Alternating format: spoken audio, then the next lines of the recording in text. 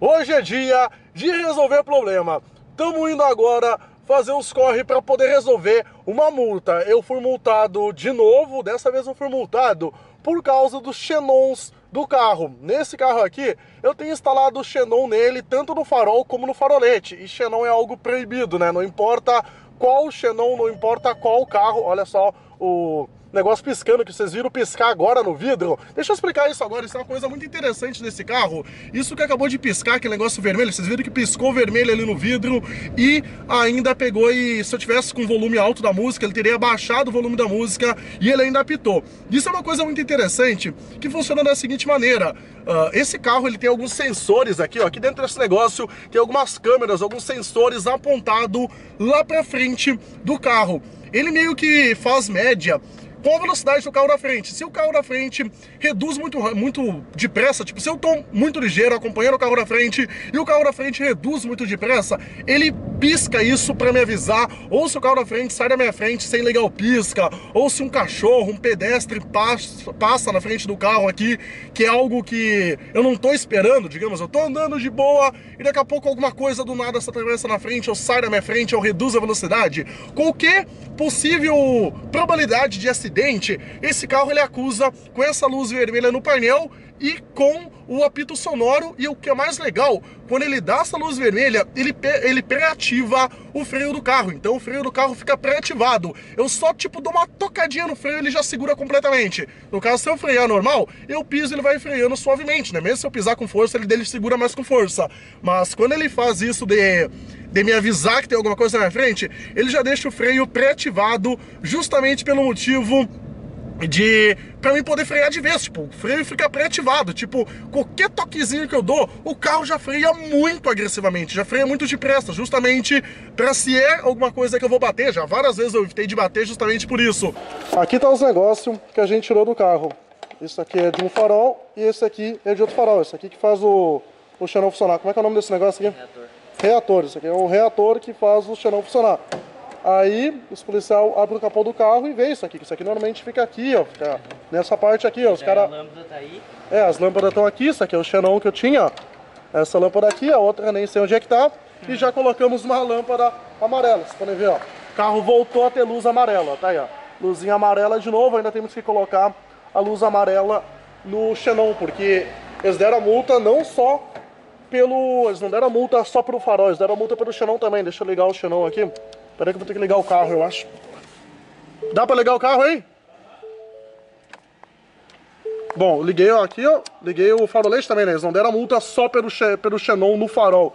Eles deram multa também pelo farolete. Não tem nada a ver, né? Mas multaram.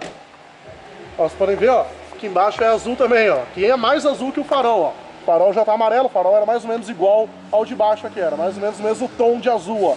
Podem ver que é azul ali, ali era azul também. Mas agora ali continua azul e já tá amarelo lá, mas vamos ter que deixar amarelo embaixo também para mim poder ir lá apresentar. Mas tá, já tá tudo removido, só temos que terminar de instalar. Esse aqui vai sair do carro, essas duas coisas aqui vão ser guardadas aqui.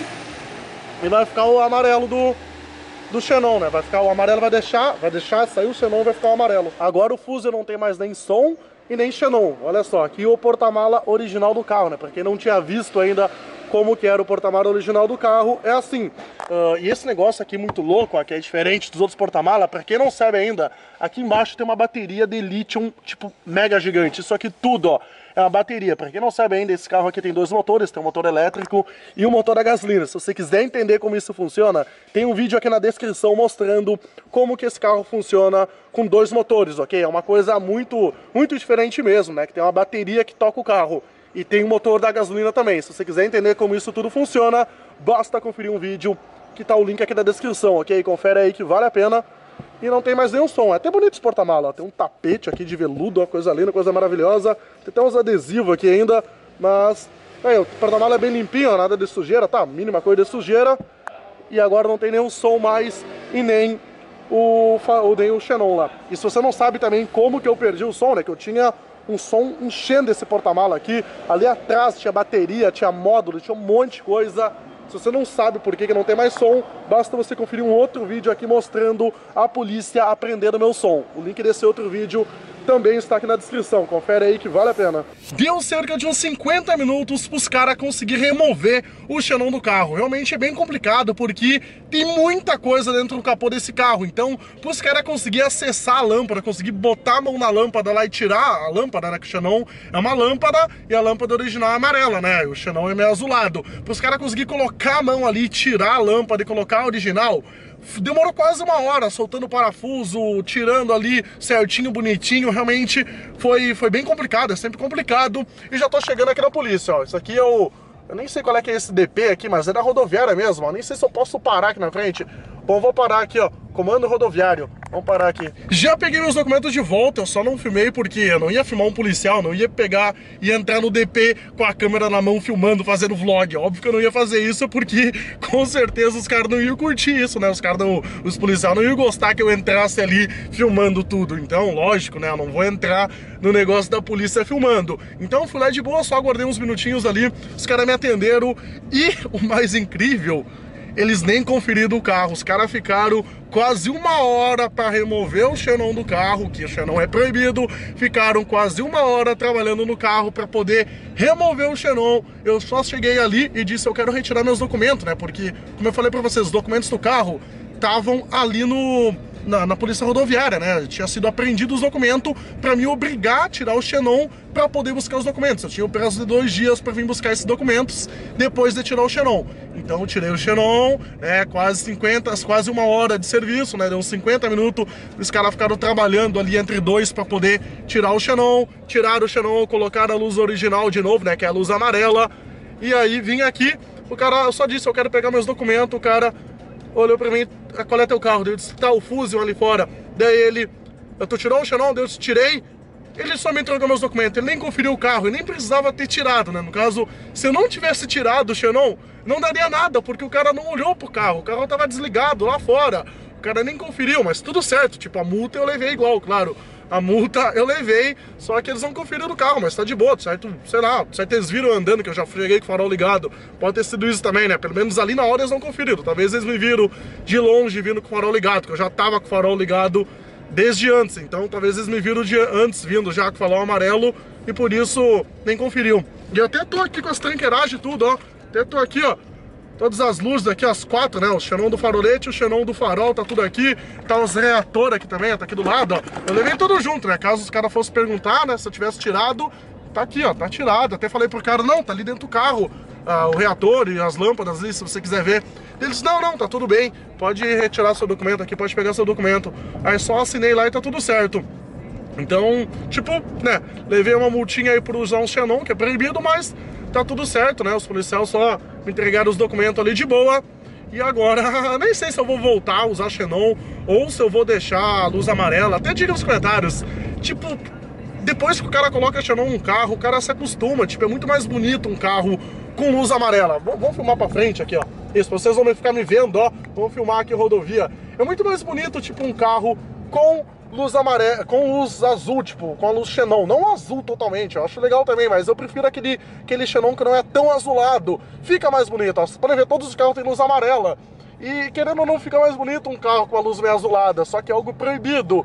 E agora eu não sei se eu vou voltar a colocar a luz azulada, porque eu fiquei com essa luz meia, Xenon, né, meia, azulada, eu usei isso aí por uns 4 meses e passei em Blitz e nunca deu nada. Só dessa vez que deu problema, né, e fui multado aí em 127 reais, então não é legal ser multado, nem o valor, né. Então agora eu não sei se eu vou continuar com a luz amarela, que agora o carro tá com a luz amarela, ou se eu vou colocar de volta o Xenons. O que, que você acha? Você acha que eu deveria deixar essa luz amarela como os outros carros, ou deveria voltar a utilizar o Xenon? Posta aqui nos comentários.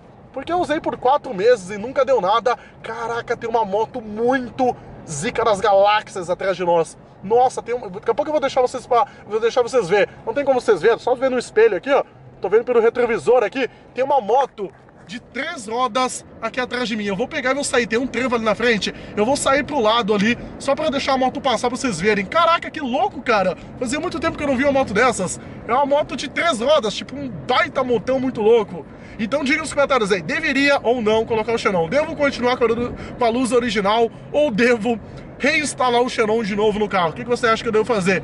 Tipo, que moto show! Que moto louca, galera! Eu vou só ali na frente, eu vou sair aqui da rodovia pra deixar ela me passar, e ainda vamos atrás dela só pra gente poder ver de perto. A moto tá andando, hein, mas vamos alcançar. Caraca, a moto tá andando! Ô louco, lá 170 no motoca! Ô louco, alcançamos, alcançamos, galera, alcançamos. Olha lá, ó. Tá ali a motoca lá na frente. Peraí que eu vou colar nela pra nós ver de perto. Olha lá, ó. Aê, vamos chegar aqui, ó. Olha que negócio muito louco, que negócio muito, muito tenebroso. É uma moto meio carro, olha só que loucuragem. A placa é de moto, ó. O negócio é meio que um carro, pneu é maior que um pneu de um carro, tá ligado? pneu dá dois pneus de um carro, mas a placa dela, deixa eu limpar esse vidro aqui. A placa é placa de moto, ali, o mesmo estilo de moto. É, isso na verdade é uma moto considerado tecnicamente, é uma moto, olha, olha que negócio louco, ó. Isso aí deve ter um motor de um Fusca, no mínimo, ali atrás, ó. Olha o tamanho do motor, isso é mais forte que muito carro, tá ligado? Pensa um negócio forte.